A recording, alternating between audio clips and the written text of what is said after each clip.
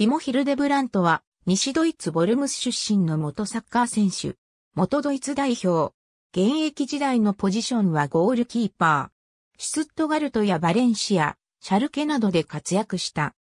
1994年に VFB シュトットガルトのユースに入団し、1999年にトップチームに昇格した。2000年にフランツ・ボールファールトが退団すると、2000から01シーズンに政治系のポジションを獲得。以降7シーズンにわたって同クラブの守護神として活躍した。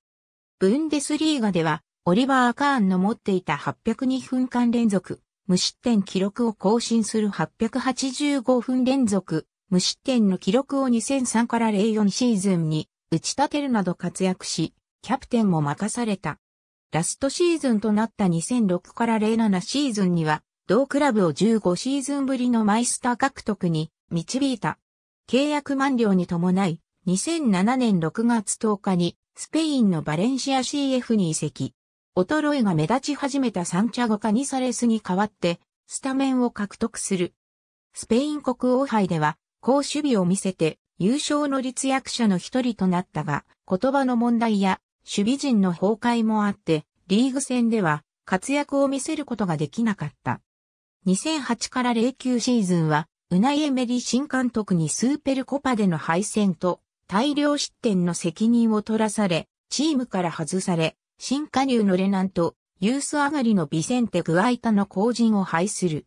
政治位系としてのプレーを望み、控えとしての待遇を拒否したため、年末に契約が解除された。2008年12月10日、ホッフェンハイムに加入して母国復帰。ダニエル・ハースに代わって政治 k を務めたが、チームからの信頼を得られずに2009から10シーズン限りで退団した。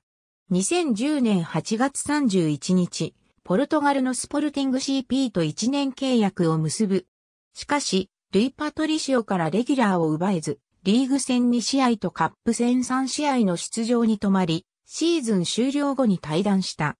2011年夏の移籍期間中に新天地を見つけられず、一時は無所属の状態を経験する。